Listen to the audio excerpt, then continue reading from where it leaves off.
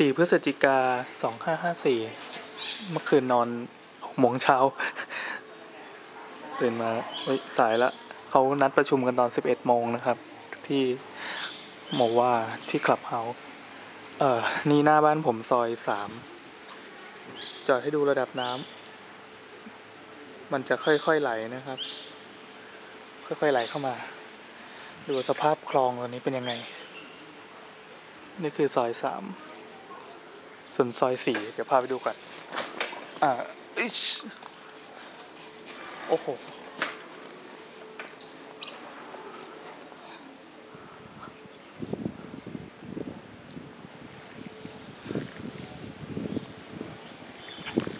ซอยสามท้ายซอยเป็นคลองอย่างสมบูรณ์แล้วนะครับ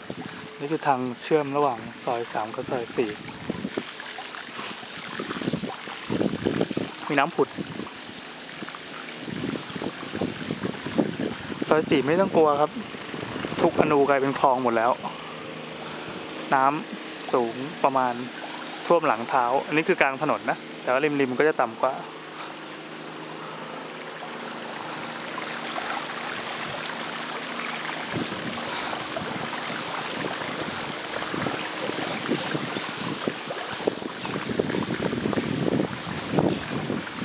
ผ่านบ้านใครบ้างก็ดูกันนะครับ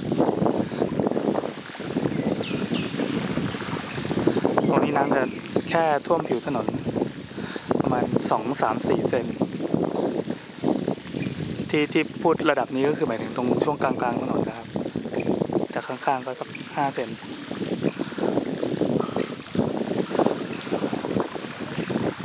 ส่วนฝั่งตรงข้ามนี่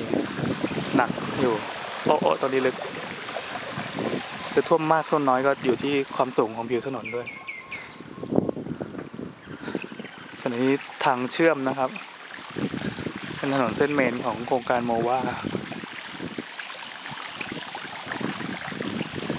เยอะครับเยอะซอยสามคือซอยซอยครับ